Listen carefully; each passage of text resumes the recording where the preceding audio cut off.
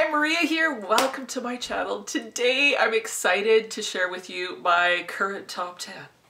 These are my top 10 for life, at least for the next six months, and I can't wait to share it with you. But before we get started, if you haven't subscribed, just go ahead and hit that button. I would love to have you part of the family. But um, with that said, I just want to say thank you to each one of you that watches. Uh, whether you're subscribed, whether you comment, no matter any of that, I recognize that you are giving me a piece of your time uh, whenever you watch one of these videos. So thank you so much for uh, inviting me into your day uh, by watching uh, my weird little shenanigans. I so, so appreciate it. Uh, I recognize that you could give your time to anyone. And so the fact that you're actually watching uh, this content, it's very, very it's it's wonderful and I really enjoy being able to do this. So thank you so much. And without further ado, let's get into this now. Um, I want you to, like most of you know me, so my guess is none of these will be a surprise, but what I thought would be really fun, if you want to play, it can be a little bit of a game, uh, go ahead and pause the video, get yourself a drink or something, because the video might be a little longer. Go get yourself a drink, come back, write down what you think my top 10 will be. And then in the comments, tell me how many you got right. You don't have to play if you don't want to, but I think it would be fun. So if you want to play the game, go ahead, pause, write down what you think my top 10 will be, and then tell me how many you got right, okay? I'm gonna tell you how they make me feel. I'm gonna tell you, like these perfumes, they've gotta, they've gotta give me the feels, right? Uh, in order to be on this list. Let's just go. Let's, let's go. The first one is La Belle by Jean Paul Gaultier. This fragrance, I love the fact that the juice is pink. To me, it's exactly what it smells like. This perfume makes me so happy. Like seriously, when I put this on, uh, I feel happy, I feel sexy, I feel a little bit saucy and spicy. It's just amazing. Now this fragrance is very sweet. It's got pear, vetiver, vanilla. I know they've got lots of other notes, but really I'm smelling spicy pear in this one with some vanilla. It smells to me like a pear that's been cooked down in maybe some sort of a a liqueur, like a sweet liqueur, and with spices like cinnamon and a few other spices, maybe some nutmeg, spices like that, all cooked down into this delicious reduction, kind of a pear syrup. That's what this one reminds me of. That said, I also find this one just ever so sparkly. Like there's a bit there's a bit of an effervescent quality to this. So instead of it staying super duper sweet, uh, there's some sort of like a little bit of a saucy kick to it uh, that feels a little effervescent. So I enjoy wearing this one. In fact, the fact that I can smell it right now, like it's so beautiful. It makes me feel happy. It makes me feel girly and like I said, a little bit sexy. So love, love, love this one. I always want this in my collection. Next fragrance is a discontinued one and it is Alien Essence Absolue. This one's deep, it's resinous, it's sexy, it's a little bit medicinal. Uh, this one is sultry and seductive. Like this to me is the epitome of seductive when I smell this fragrance, what I think of is um, you live in a big mansion, like very fancy ma mansion, probably in the early 1900s because no one really lives in houses that huge anymore. But anyway, you came from money uh, and you were just at kind of a fancy ball. You get home, you put on a silk kind of negligee, you go into the great room and there's this big, huge fireplace, not like the fireplaces we have now. It's this giant fireplace with this roaring fire. And there's kind of like a, a some sort of fur that's uh, laying in front of the fire. And then you, there's this chaise lounge that's velvet. So you come down in your silk negligee and you're all warm by the fire.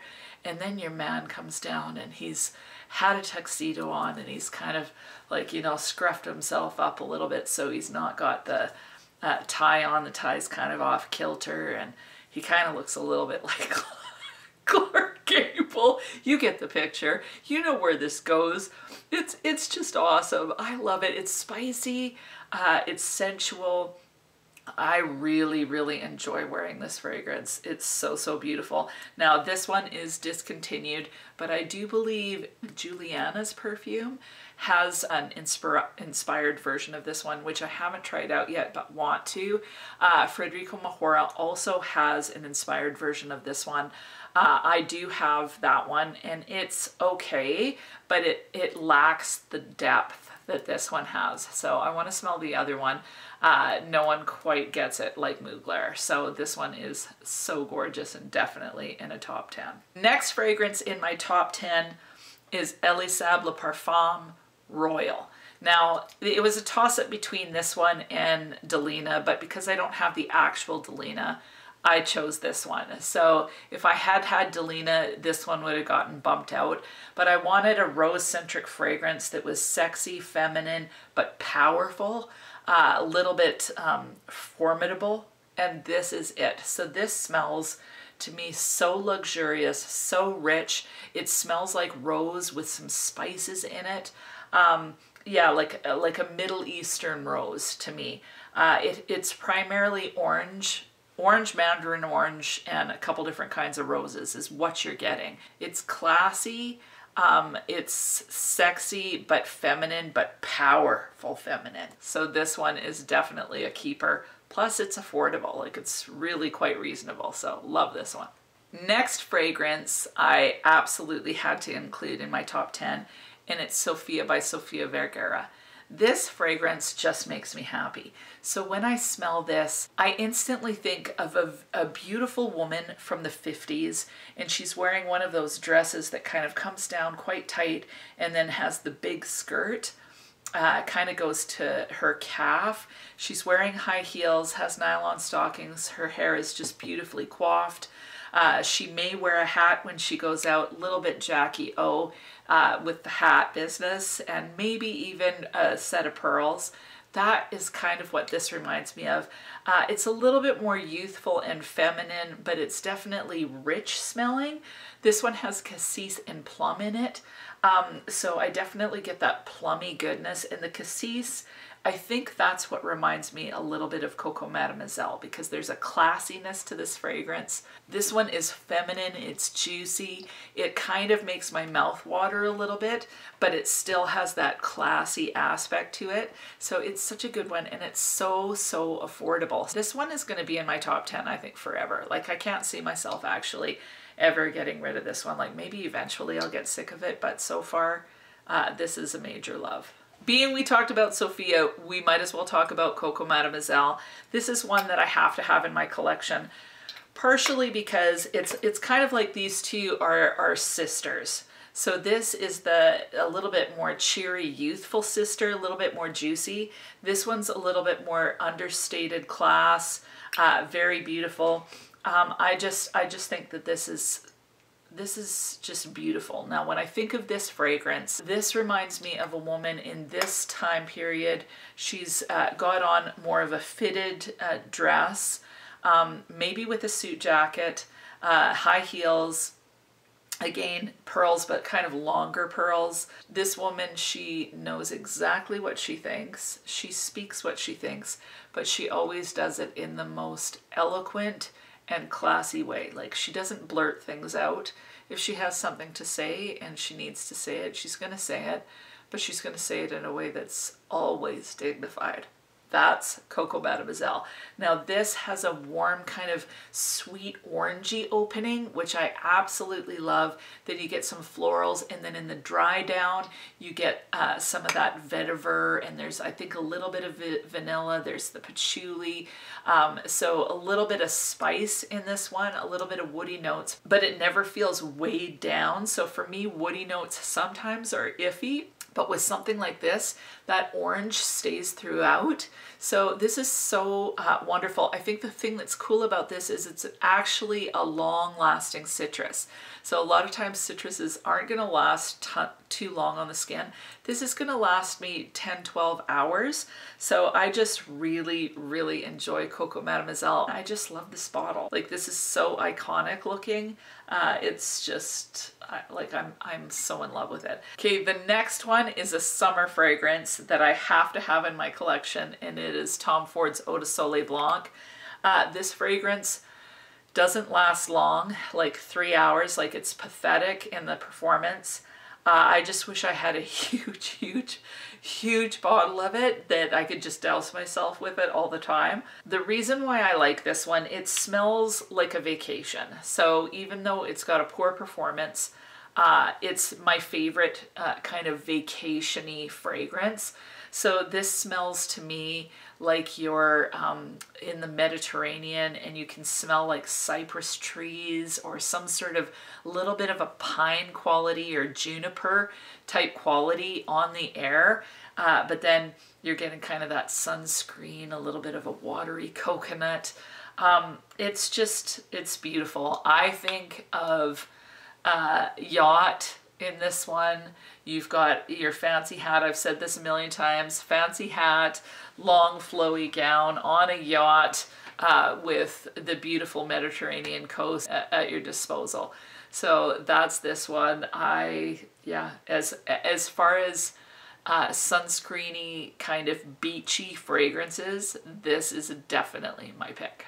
I wasn't satisfied with just having one sexy fragrance. I needed one other one that's like sexy sultry. Like technically La Belle is sexy too, but I needed like another one that was just kind of like, oh, you know? And so I went with Noir Femme by Tom Ford. Now, unfortunately, this one's discontinued too. Why? Why do they always discontinue the best fragrances? I don't get it. Like, I do not understand. Like, Si Fiori, it's the only Si I really love they've discontinued it. And on that note, I should probably get a bottle because I really do enjoy that one. Anyway, back to this one. Noir Pour Femme. It smells like you're going to a very fancy dinner party. So I imagine it in New York, probably more in the winter time, but it could really be any time of the year.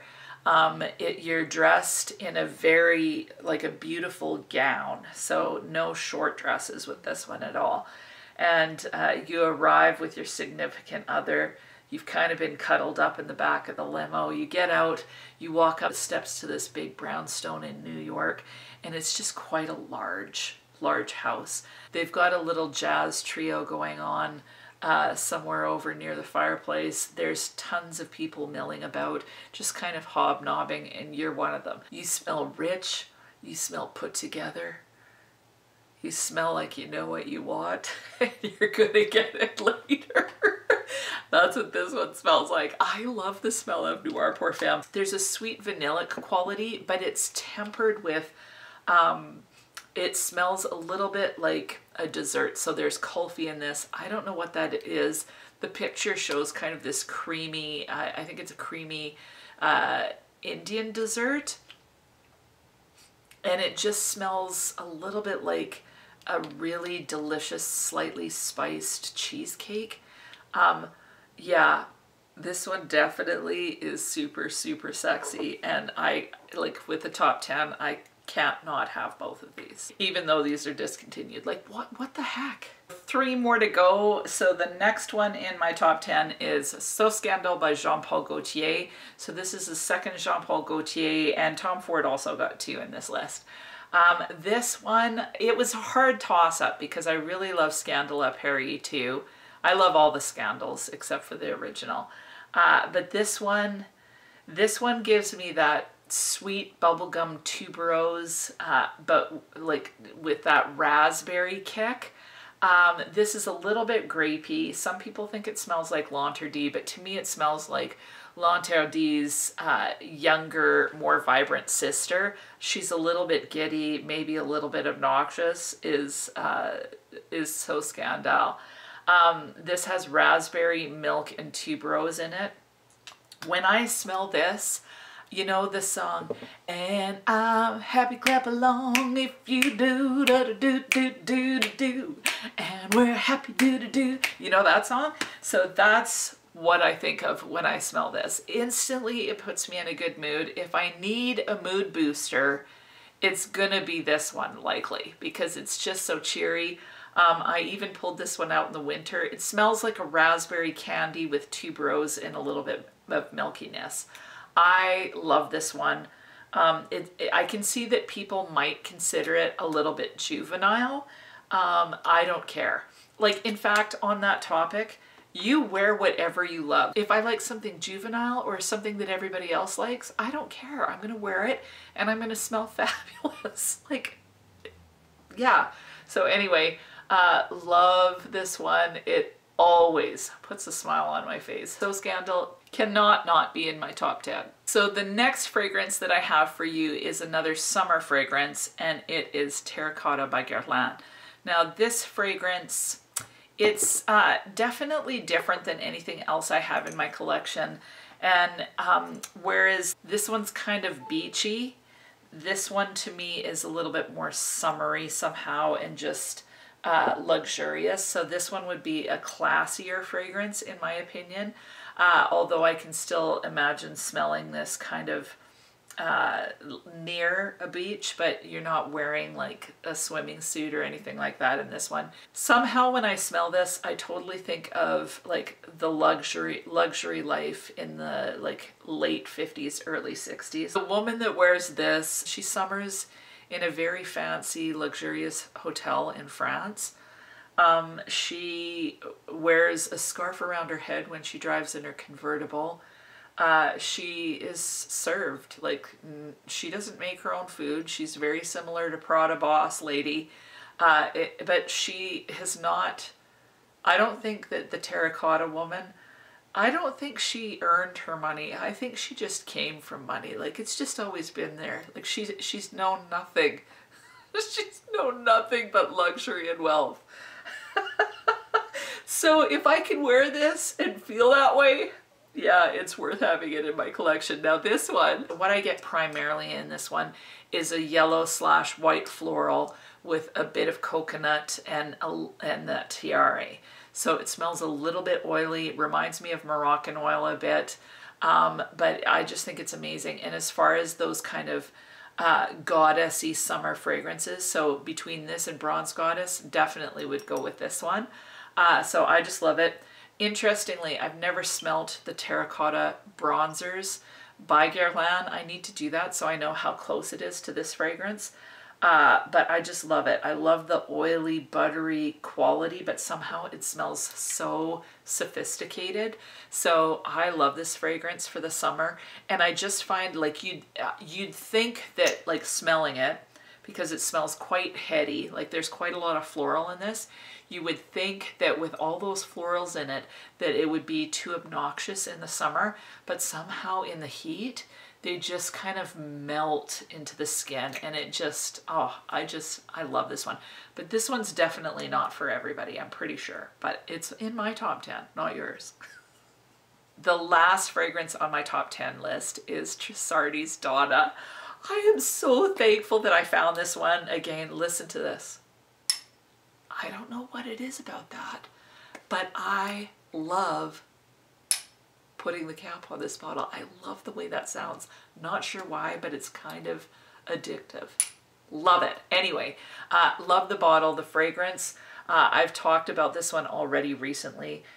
It's lemony, it's sweet, it's got a slight milky slash creaminess to it, almost like a lemon custard. Um, some people were asking me if this gets pastry-like. Not at all. It just smells like the filling. Uh, to me, that's the best way I can describe it. A lot of people do smell the florals in this as well. So um, yeah, what I get is just kind of a light lemon sweet fluffiness. Uh, and I just, I think it's beautiful. It's quite tart, uh, but not overly over overpoweringly uh, tart. And uh, um, one of one of the comments uh, on my Trussardi video was this is a freshie for non-freshie lovers, and I would have to agree. Uh, this is fresh. It's zesty, but not too zesty. It's got a little bit of substance and creaminess to it. Uh, again, smells put together and classy, but uplifting. And this one also on me has fantastic performance. So I just have to have this in my collection. So that is it. Um, out of my top 10, I can't pick a favorite. Um, I, these are kind of my sexy, these are kind of my sexy ones. This kind of works anytime, uh, sexy or day. Uh, love it for that. Uh, these are my sophisticated, classy, uh, feminine fragrances. This one is my formidable tigress. Uh, this is my happy, juicy, kind of a little bit juvenile. These are my two summer fragrances. And then of course, this one is a very uplifting as well. Like these two both uplifting. Uh, but this has just got a little bit more of a lemon kick. So I think I've got a really beautiful mix of fragrances. Um, if you didn't play my game, that's okay. Why don't you tell me what your top 10 is, or at least tell me your top three. And that is it. Thank you so much for watching. I'll probably have another top 10 in about eight months. what do you do? Have an amazing week, and we'll talk to you soon.